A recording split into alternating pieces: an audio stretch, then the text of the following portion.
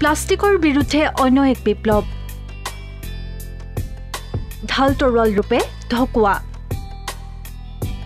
প্লাষ্টিকৰ পৰিৱৰ্তে ঢকুৱাৰ বাচন বৰ্তন। প্লাষ্টিক নহয় এইবাৰ পাতৰ কাঁহী গিলাচ। যি সময়ত প্লাষ্টিকে অসমৰ লগতে সমগ্ৰ বিশ্বৰ বাবে ভাবুকি কঢ়িয়াই আনিছে তেনে সময়তে বঙাইগাঁৱৰ এজন যুৱকে কিছু ব্যতিক্ৰমী প্ৰচেষ্টাৰে বাছি ল'লে স্বাৱলম্বিতাৰ অন্য এক পথ। বখলা গাঁৱৰ উদ্যমী যুৱকে নতুন চিন্তাৰে আৰম্ভ কৰিলে এটা পাত গিলাচৰ কাৰখানা।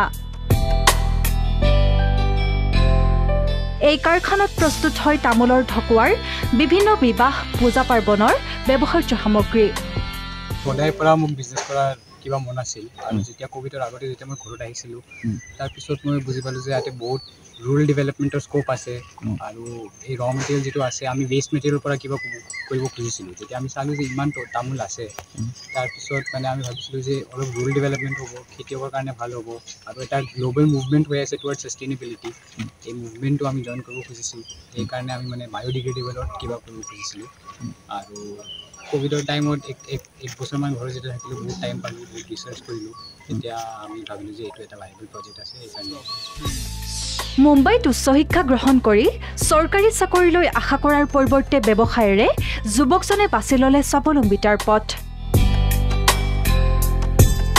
তামোলৰ ঢকুৱাৰ বাতি কাঁহী বনাই নিজৰ লগতে আন দহজন গঞাক দিছে স্বাৱলম্বিতাৰ পথ।